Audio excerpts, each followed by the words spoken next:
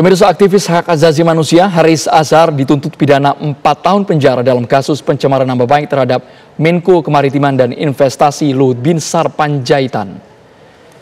Dalam sidang di Pengadilan Negeri Jakarta Timur, Jaksa Penuntut Umum menyatakan Haris Azhar terbukti melanggar pasal pencemaran nama baik dalam Undang-Undang Informasi dan Transaksi Elektronik. Haris Azhar juga dituntut denda 1 juta rupiah subsidiar 6 bulan kurungan penjara. JPU menyatakan yang memberatkan terdakwa antara lain tidak menyesali perbuatan serta memicu kegaduhan selama persidangan. Sementara jaksa menyatakan tidak ada hal yang meringankan.